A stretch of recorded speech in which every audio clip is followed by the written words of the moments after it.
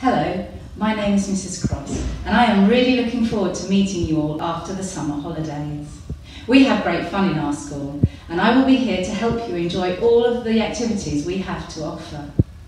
I'm lucky enough to be able to work in all of the reception classes and sometimes I might even be your teacher for the day. I have a favourite thing to do.